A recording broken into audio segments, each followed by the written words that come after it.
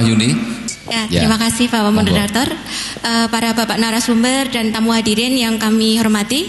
Assalamualaikum warahmatullahi Ya, jadi kami mewakili Bapak Direktur Rumah Sakit Dr. Muardi. Pada prinsipnya Rumah Sakit Dr. Muardi selaku Faskes lanjutan atau fasilitas pemberi pelayanan kesehatan lanjutan atau disebut juga PPK 3 yang berada di Surakarta sekaligus menjadi rumah sakit SKPD Jawa Tengah yang terbesar. Kami komit dengan pelayanan BPJS kesehatan maupun BPJS ketenagakerjaan.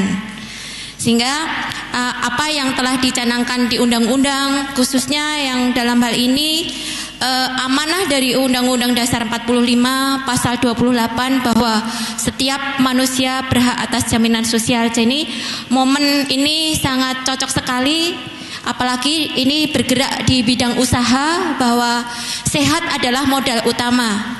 Kalau kita bayangkan para pelakunya sakit apa jadinya dunia usaha tersebut. Jadi selaku pemberi pelayanan kami komit dengan uh, sistem jaminan kesehatan nasional ini. Sekian terima kasih. Wassalamualaikum warahmatullahi wabarakatuh. Monggo selanjutnya dari akademisi Prof Jamal kami persilahkan. Bapak Ibu yang saya hormati bahwa penyelenggaraan seminar nasional dan diskusi interaktif ini saya mendengar judulnya itu sudah sangat menantang lah kira-kira begitu. Hadirnya BPJS tentu akan lebih uh, menyenangkan dengan lima program utamanya adalah program untuk jaminan kesehatan, jaminan kecelakaan kerja, jaminan tunjangan hari tua, dan jaminan pensiun serta jaminan kematian. Dari aspek itu kita tentu sudah menyenangi, tetapi dari aspek lain hadirnya BPJS dalam pandangan saya menyisakan sebuah pertanyaan besar tentang bentuk hukum. Bentuk hukum. Kalau kita lihat di dalam konstruksi Jadi kalau mis, misalnya saja dari lima perlindungan yang ditawarkan itu kemudian prosesnya berbelit-belit, kemudian ini karena aspek birokrasi, karena aspek birokrasi biasanya juga berbelit-belit. Kemudian apakah BPBS juga mampu menghadirkan public service yang baik? Bapak Ibu yang saya hormati, apa yang disampaikan tadi bahwa sebagian uang ini kan sebagian uang negara dan sebagian kepesertaan tadi dari yang dilakukan oleh perusahaan atau pribadi-pribadi, maka tentu ini harus ada proses di mana ada pemeriksaan entah itu dari BPK atau BPKP sehingga apa? Sehingga uang yang sudah disetor oleh para pengusaha, oleh para uh, atau individu atau karyawan ini jadi transparan dan akuntabel. Jangan sampai terjadi masalah-masalah dulu pembangunan menara jam sostek misalnya saja dulu yang memakan biaya yang banyak yang dikatakan itu adalah uang yang tidak dikenal atau tidak ketahui dari mana asalnya. Tentu Bapak Ibu di dalam pengelolaan uang ini sedikit pun atau serupiah pun harus bisa dipertanggungjawabkan sesuai dengan asas pengelolaan keuangan negara yaitu asas transparan, transparan kredibel dan tepat waktu tidak ada sebuah aturan atau tidak ada uh, maaf lagi bagi para penyelenggara negara yang kaitannya dengan menarik uang itu bebas dari pertanggungjawaban itu. Demikian yang bisa sampaikan. Harapannya BPS ke depan lebih baik. Terima kasih. Assalamualaikum warahmatullahi wabarakatuh. Pak Dr. Ahmad Herobi kami persilahkan. Bismillahirrahmanirrahim. Assalamualaikum warahmatullahi wabarakatuh. Uh, terima kasih. Ini jadi ini menarik sekali ya. Jadi kalau kita lihat bahwa mengapa pemerintah itu harus keroyo-royo membuat aturan ya kemudian undang-undang dan seterusnya yaitu kalau atau istilahnya kalau dalam bahasa ekonomi itu pasar itu gagal ya. Jadi gagal untuk menyediakan apa yang dibutuhkan oleh masyarakat. Konteksnya adalah bahwa kesehatan ya sebagaimana diaturkan oleh uh, tadi narasumber uh, BPJS itu kesehatan itu sangat perlu sekali ya.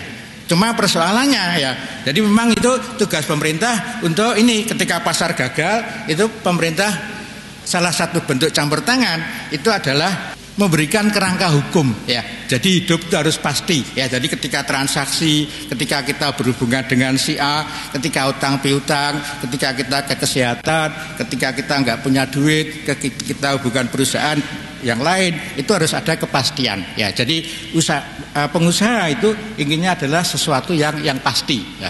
Sehingga persoalannya ini perusahaan tuh inkonsisten atau enggak ya konsisten bayar atau enggak konsistensi ini perusahaan dalam membayar ini ya.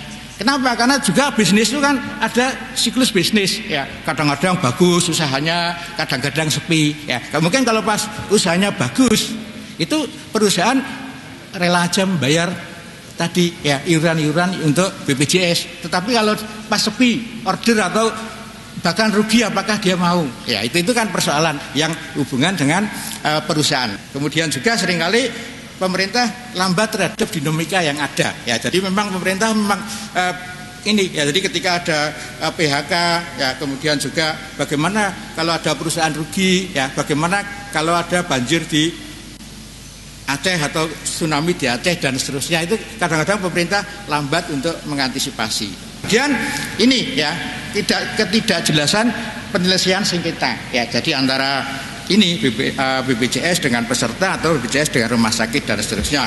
Dan yang terakhir ini adalah i, uh, kesiapan dari ini kalau di Solo saya yakin seperti Ibu Tri tadi bahwa ini sudah siap.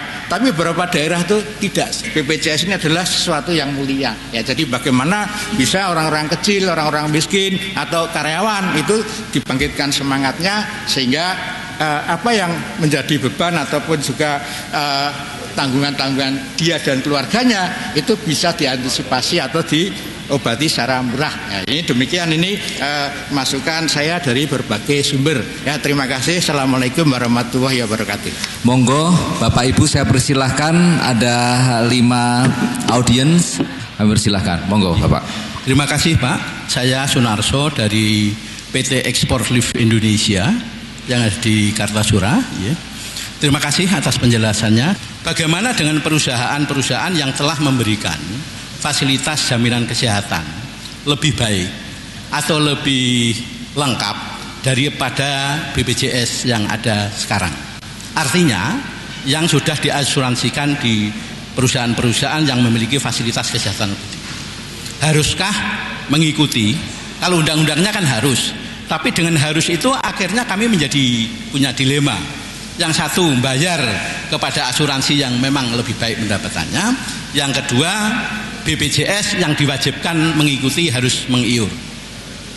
Karena bisa jadi nanti bahwa karyawan mempunyai persepsi kalau mengikuti BPJS berarti mengalami penurunan fasilitas kesehatan, tetapi kalau mengikuti terus jaminan asuransi yang ada berarti kami harus membayar double double yang kaitannya dengan asuransi yang sudah berlangsung sekarang yang lebih baik fasilitasnya dan membayar BPJS yang tidak akan dipakai. Nah, berikutnya satu lagi yang dimaksud dengan komit tadi bu dari dari rumah sakit. Komit itu saya nggak nggak tahu artinya. Nah, saya kira itu saja bu. Terima kasih. Terima kasih Pak. Uh, kita tadi sudah mendengar pemaparan dari banyak uh, narasumber yang cukup baik. Tapi ada beberapa hal yang uh, dalam posisi ini. Don Sewu nama Bapak? Nama saya Mujahidin Pak.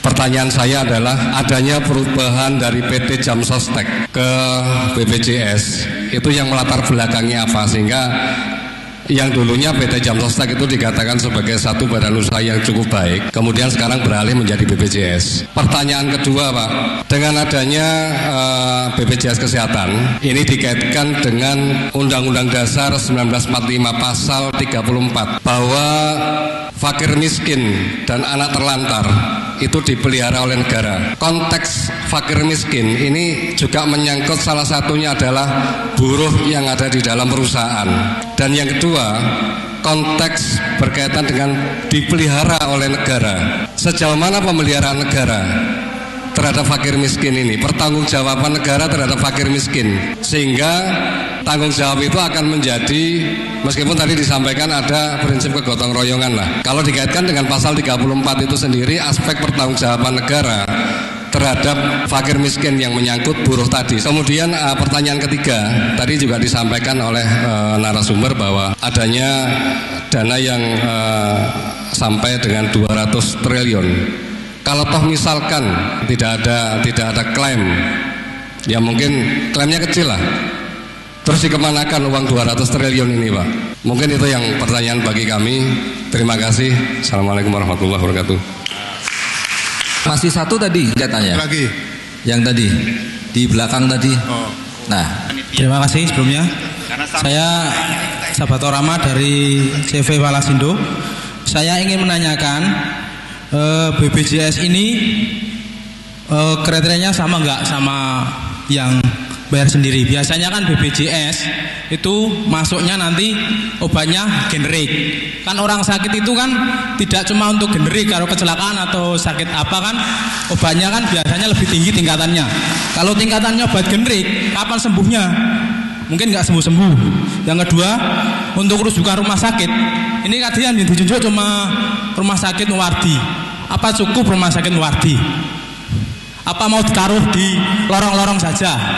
Itu saya dari saya. Terus uh, ini saya harapkan pada Bapak nanti uh, rumah sakit rumah sakit itu yang ditunjuk apa saja? Tolong dijelaskan rumah sakit rumah sakit apa saja, bukan cuma untuk rumah sakit negeri. Kalau bisa seluruh rumah sakit. Sekian dari saya. Assalamualaikum warahmatullahi wabarakatuh. Terima kasih.